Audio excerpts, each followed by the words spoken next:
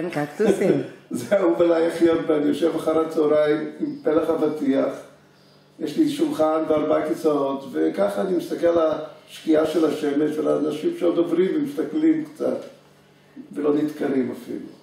הקקטוסים התחילו אצלי על ידי דוד, כי הייתי בא לבקר את ההורים של מקיה בעשרת הבתים, וכל מה שהייתי מגיע לשם הייתי נעצר ליד דוד, כן, והייתי רואה את הקקטוסים שלו. ואז הוא קורא לי, בחור איך קוראים לך? אתה אומר לי, אברהם. אני לא סתם מאוד מתעניין, נתן לי קקטוס קטן, פצפוני. ומאותו יום זה כבר 45 שנה, 44 שנים, שלא הפסקתי לגדל קקטוסים.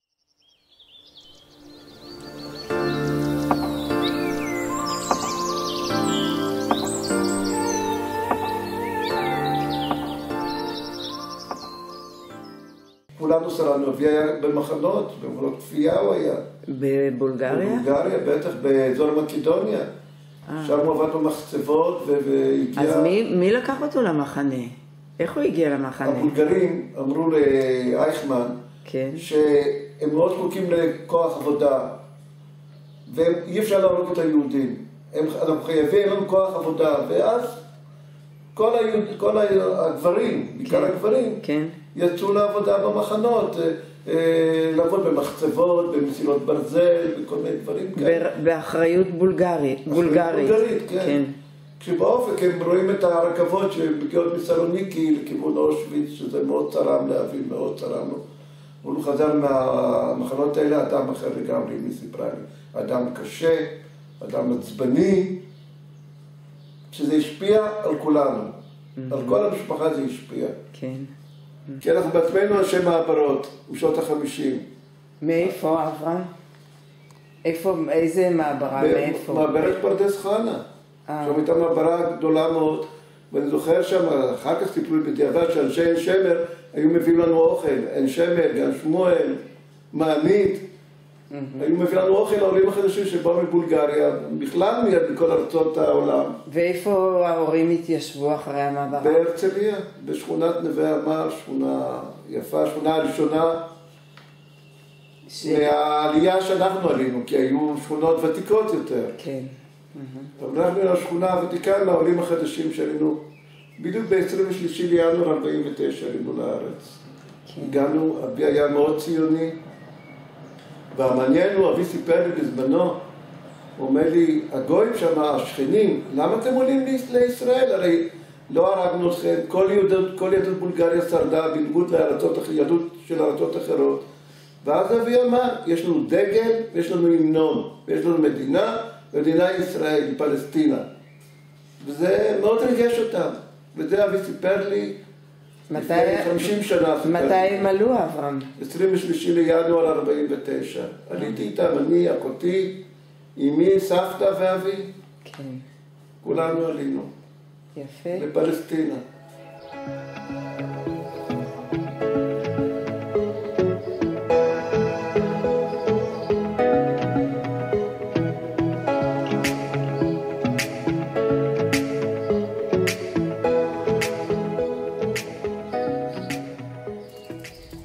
מאיפה, מאיפה יש לך כד? ראיתי את הכד הזה. השבור? כן. זה קו של אולי 200 שנה מערביי יפו, והנכד ביום שישי האחרון שבר אותו. וואי. ראית אותו, נשארו שני קדים נשארו, כן. שגם הם עתיקים. מי זה השובב? ליאור או איתי איתי? דווקא. הוא. נתקל בזה, לא יודע איך, הפיל את זה ושבר את זה, ואני מחפש מישהו שיעזור לי להדביק את זה. אה, כן. ואני חצי של עתיקות. אז איפה אתה מוצא את כל העתיקות? בסביבה. בסביבה, איבדיס, בית עפה, עיראק סוידן, גבעה 113, מקיצ'י כשהוא עזב, מדוד כשהוא נפטר, אה. מהמון אנשים. ולא כולם קונה, לא קונה את הדברים האלה? יש כאן דברים שבטח קנית. מעטים מאוד, פשפשים או מעטים משהו? מאוד. אה. כשהייתי לפעמים נוסע לתל אביב, אז הייתי קונה פה ושם בשוק הפשפשים, אבל כמעט ולא, באמת כמעט ולא. זה הכל אוסף, אוסף ואוסף ואוסף של דברים ש... זה מצטבר. אתה יודע, זה כמו אומן שהוא מתעורר באמצע הלילה ונזכר באיזה ציור שהוא צריך לצייר או שהוא לא גמר, לא סיים, ככה אני. פתאום מתעורר באיזה שעה של לא יודע מה, אני קם ומזיז מפה לשם ומשם לפה, וככה אני מתעסק עם זה. יפה. בשעות הפנאי שלי. עכשיו, הגן קקטוסים הוא כבר לא פעיל, אתה לא מוסיף שמה. אין מה להוסיף, קודם כל אין מקום. הקקטוסים מאוד גדולים. כן. אני יכול לעשות לך סיבוב. כמה יכול שנים? לצלם גם. כן, אני רוצה שתעשה לי סיבוב. הקקטוס זה גן מאוד ותיק, באים אליי מחוג חובבי קקטוסים, באים אליי מארץ ישראל יפה, כשמ- כשמגיעים גם לתומר ושם לגן הזה למעלה, מגיעים גם אליי, וקוראים הסברים, ואני גם מכין להם כיבוד אפילו, וכבר מספר להם גם על נגבה, על שנת העלייה של נגבה, וכל מה שמסביב לנגבה. זה מאיבדיס, המפתח הזה מאיבדיס, שכנראה שהם השאירו את המפתחות האלה שם, ובתקווה שהם יחזרו הביתה. אתה רואה שני המפתחות הישנים האלה, כן. והם לא חזרו הביתה מאז. נסעתי לאשדוד ואמרתי, אני אכנס לתל שם, ונכנסתי לתל, ובדיוק זה צץ טיפה באדמה, וחפרתי טיפה עם הציפורניים, וזה... אין, אין דבר כזה, מצדפים אין לאף אחד. יש פה מקיצ'י כמה עבודות, יש פה מקיצ'י. אהה. מדוידקה. נהדר. פה את יכולה גם מלפנים לראות שם, שם זה גם ראיתי, גם מרשים. לפנים, בטח. יפה מאוד. זה הבית. ככה אני גדל, ככה אני חי, אחרת משעמם לחיות. בדרך כלל, אני יודע שבאמריקה, כשהיו, גידלו שם קקטוסים, אז לא גידלו קקטוסים במדבריות של אמריקה, היו שם הרבה מאוד עתיקות גם, אבנים, כלים, דברים כאלה, וזה מאוד השתלב בס- ב- ב- בטבע. ואני, מכיוון שהחלטתי שאני, כן שאני מגדל קקטוסים, ועשיתי מאמצים לא קטנים כדי שיהיו לי גם אבנים כאלה. וכלי נחושת שאספתי מיפו, מהדודים מהבולגרים ביפו, ומהבולגרים ברמלה. אספתי כל מיני פיילוט כאלה גדולים, ענקים, את רואה? כל מיני פיילוט כאלה אספתי. מכל מיני מינים, מכל מיני סוגים. מונח שם בחצר. זה פשוט היה מונח בחצר. כן. עכשיו, רוב האבנים שיש לי פה, רוב האבנים הם אבנים שקיבלתי ככה מדוידקה, שהוא היה לו גן קקטוסים עם אבנים.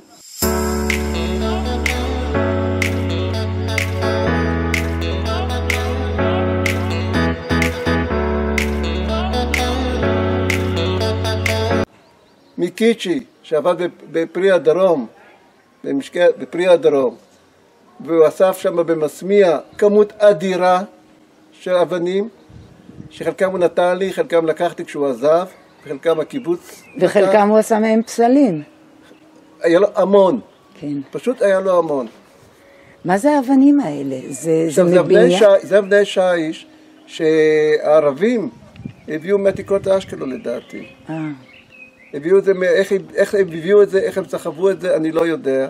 אבל כשיעזבו את איבדיס ואת אה, מאה ה-13 שם, היית- קרן קיימת שם, ניגשו את העשבים וניקו כדי לנטוש שם את האקליפטוסים, הם השאירו שם המון אבנים, השאירו. בעיראק, בעיראק סוידן, למשל, האבן הזאת. וחלקם, אני צריך להודות שקניתי בירושלים וביפו. כן, קניתי. זה... החלטתי שכל אחד קונה, קונה מה, ש... מה שנוח לו ונעים לו לקנות. כן. אז במקום לקנות תכשיט, קניתי אבן. קיבלתי המון. המון בפחי אשפה היו. אנשים זורקים דברים שאני לא קיצ'י שחיט- שחיטטתי בפחים, בשום פנים ואופן לא. אבל אם היה משהו גלוי לעין, כן. בהחלט לקחתי. הוא הראה לי פה את הצלב הזה, פעם נחום צביאלי, ומאיפה זה גם? צלוב, לא צלב. מה? צלוב. זה נראה כאילו... לא. יכול, זה- לי זה, הוא אמר שזה צלב. נחום צביאלי היה אצלי והוא כל כך התרשם שהוא נתן לי גם משהו, ואני אראה לך מה הוא נתן לי. אני הבאתי את זה מקיץ' עם הצלב.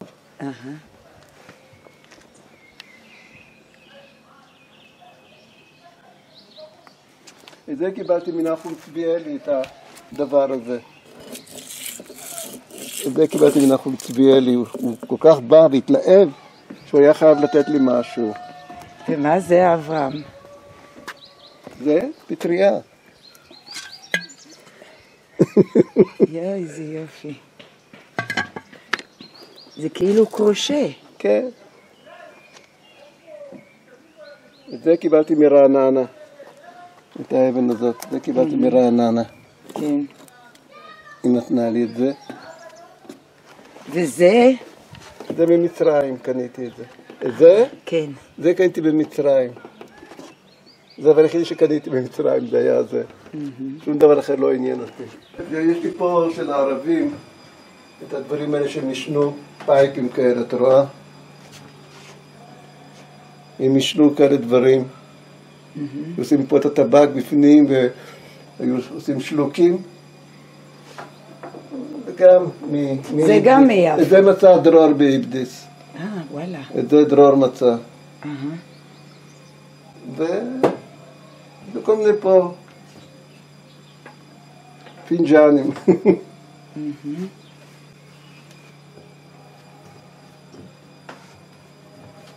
המנעול הזה נמצא באיבדיס, באיבדיס, הוא עם המפתח בפנים, כאילו שהם השאירו את המפתח אפילו לא לקחו את המפתח איתם, כי הם חשבו שבהקדם, מהר מאוד, הם יחזרו חזרה לבתים שלהם. ולכן תליתי אותו ממש בכניסה לבית, כי זה הדבר היחידי שהכי הכי מוצא חן בעיניי. זה המנעול הזה. מנעול ישן, מנעול של הרבה מאוד שנים. יום אחד אה, נתתי להזריק, לא יודע, לאיזה פרדס שם שהייתי צריך לעשות, וראיתי שם איזה תל, הוא נדיר, הוא כאילו מ- מאזור הים. נכ- זה בטוח. אזורי- כן. זה מאזור הים. את רואה דפים, דפים, דפים, דפים, שבאמת זה, הוא נדיר לגמרי. פשוט נדיר. אין עליו כמה שהוא נדיר. שם השיבולים שמסביב, על גליו אלף חיוכים אליי שלח האביב, שמש חביבה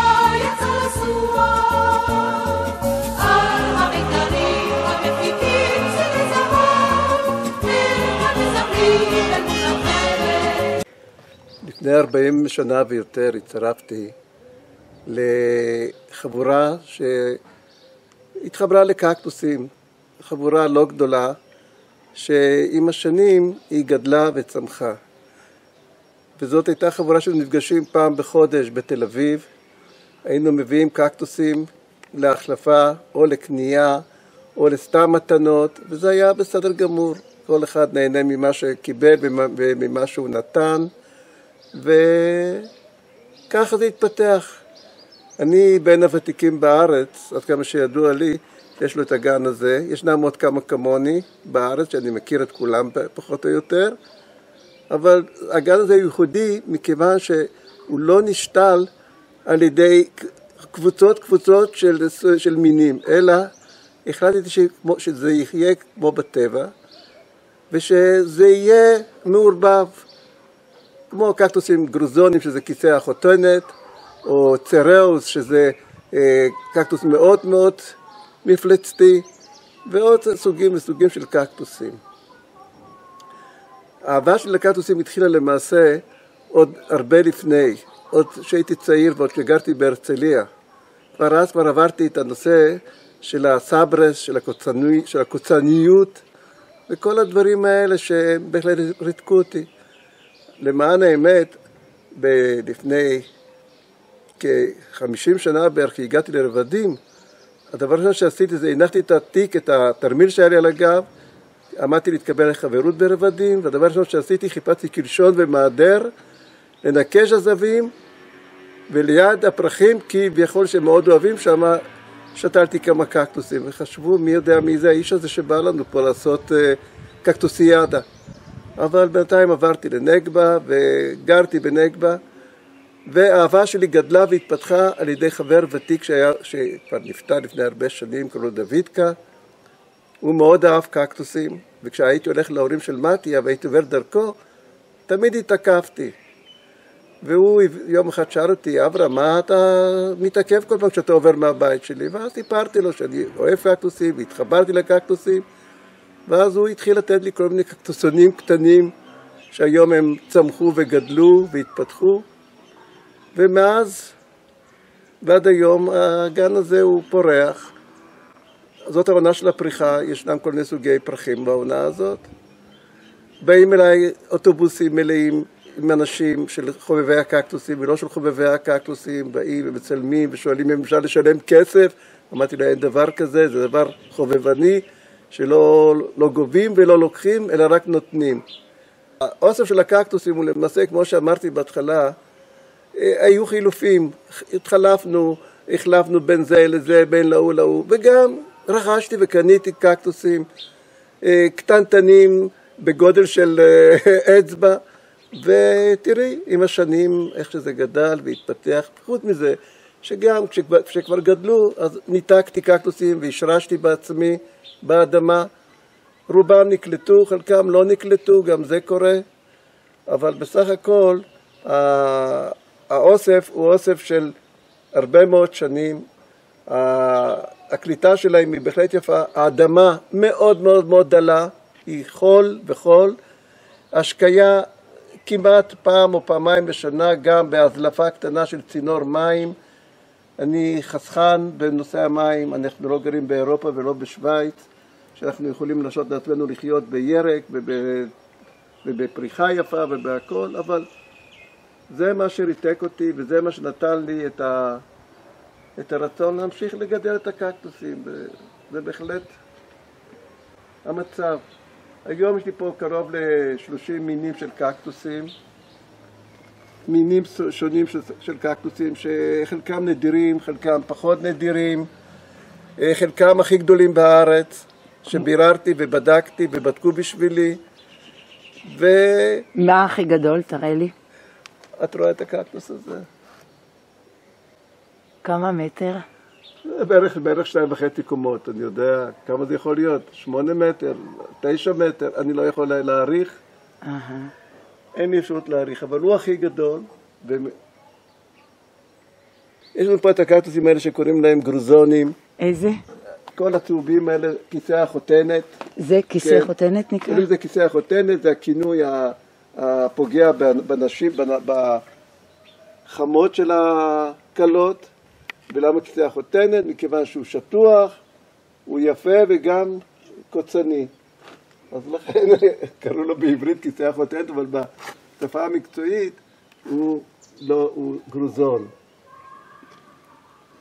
אברהם, תספר משהו על הפריחה. כן. אני רואה שהפריחה יש לה מקום מסוים. זאת עונה, זאת עונה של הפריחה. עכשיו, בקק, בגרוזון למשל, הפריחה שלו היא פריחה צהובה, והוא מוציא בדרך כלל את הזרעים. הוא לא נתלש כל כך טוב עכשיו. או, יש לו זרעים בפנים, ו... אתה לא יכול להראות לי זרע? הנה. יואו, רגע, עכשיו, רגע. בטבע, ככה, ככה הוא מתפתח בטבע. בטבע הוא מתפתח בצורה כזו, ואז הוא, הוא, הוא מתרבה ומגיע לשטחים עצומים, כמו בדרום אמריקה, במקסיקו, בדרום אפריקה, במקומות שונים בעולם שהם מתרבים. אצלי זה לא יכול להתרבה בגלל סיבה אחת פשוטה, אני לא... אני מרסס הרבה מאוד עשבים בגינה, וכשזה או, נוש- יש לך עשבים? זה נראה כל כך יבש. אה, עכשיו.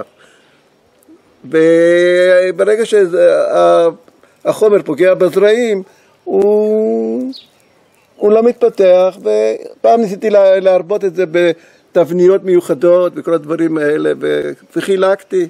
הצלחת והיום- להרבות. כן, מעוד כמה מינים כן. שאני אראה לך, ומאז כבר הפסקתי. אהה. אבל הקקטוסים האלה ברובם הם קקטוסים די רעילים, די כואבים, הקוצים. אני פגוע מכל הכיוונים, כן, נדקרת. נדקרתי גם מאחור וגם מלפנים וגם בראש וגם בכל מקום.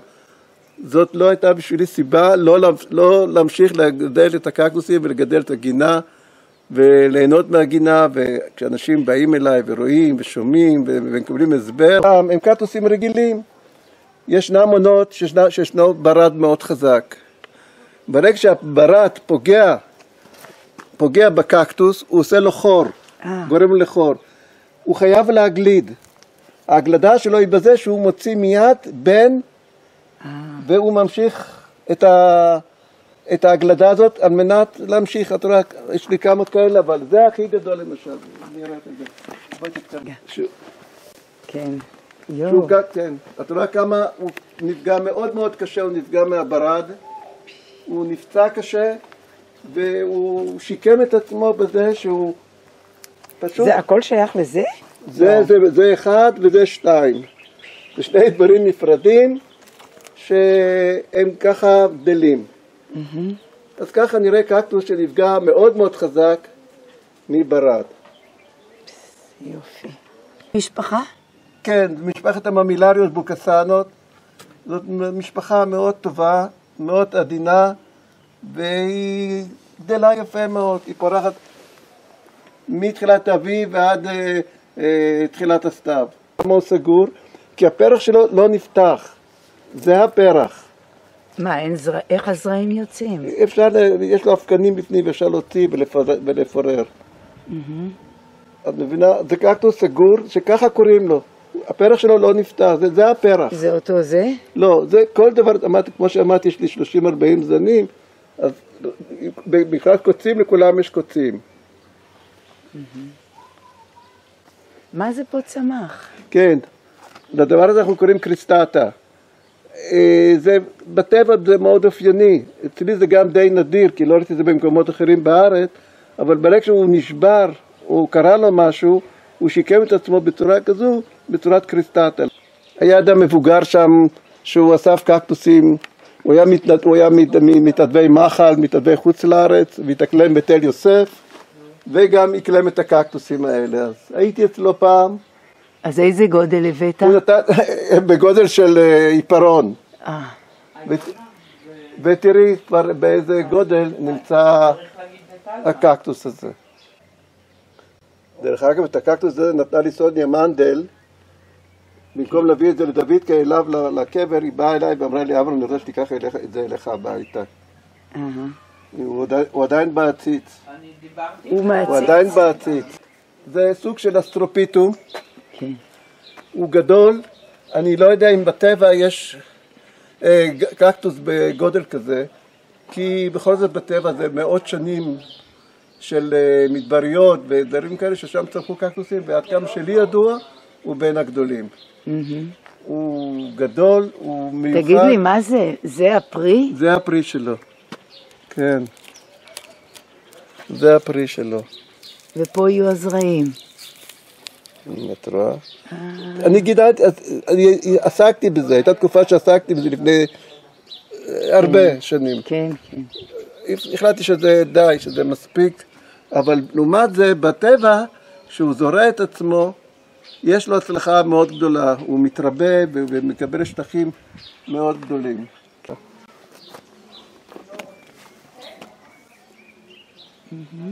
במה הוא שונה? שהוא לא כזה... הצבע, את רואה, תסתכלי על הצבע, על הקוצים שלו, הוא שונה. כן. הוא דומה ולא דומה.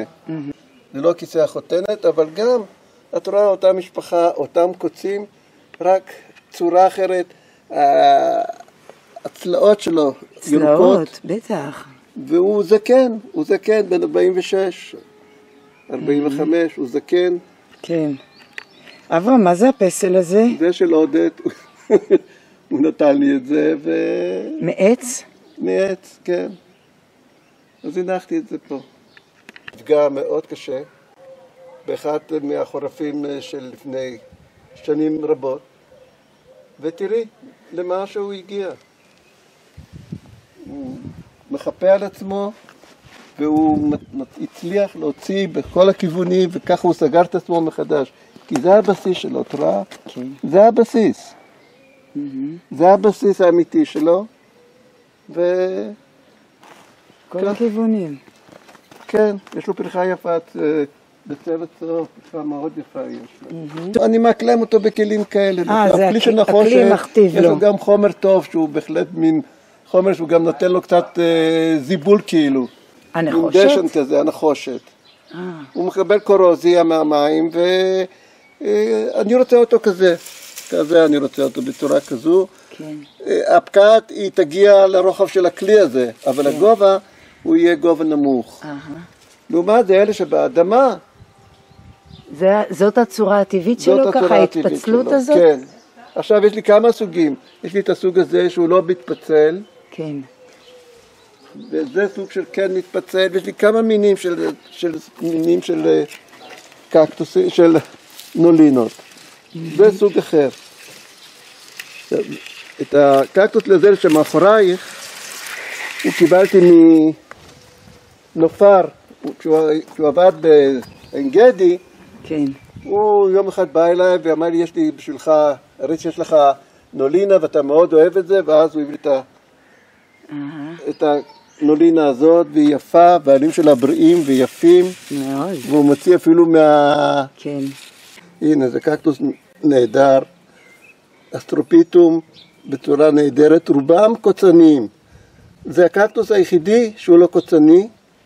יש עוד קקטוס מסוים שהוא לא, לא, לא נקלט אצלי, שקוראים לו ליטופס, קקטוס האבן, שהוא גם, אה, למה הוא, למה הוא כזה קטן? כי הוא מוגבל פה. אה, ואתה לא רוצה לגדל לא- אותו? לא, לא. לו יש יותר פחות, יש חמישה צלעות, חמש צלעות, ולזה ארבע צלעות, וככה הוא גדל. קקטוס מאוד מאוד נדיר, שהוא היה קטנטן, והוא על עציץ מאוד מאוד קטן, וזה של אחד הגדולים בארץ שמגדל קקטוסים, ויום אחד הוא בא לבקר פה, והוא אומר לי, תשמע, אני צריך לתת לך גם משהו. זה היה לפני 35 שנה בערך. זה בן 35 שנה? מכיוון שהוא מוגבל מאוד ב... אי אפשר, לא אפשר, לא יכול להיות.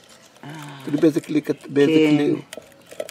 בכלי מסכן קטן, ואני כן. בכוונה לא מבהיר אותו, כי אני פוחד שהוא לא יתקלקל. זה נסדק. את רואה כן. שהשורשים זה סדוק. פשוט נסדק, וגם זה בטח ילך באיזשהו שלב. הוא עדיין כל כך חזק, שאני לא רוצה עדיין. אה, להרגיז אותו.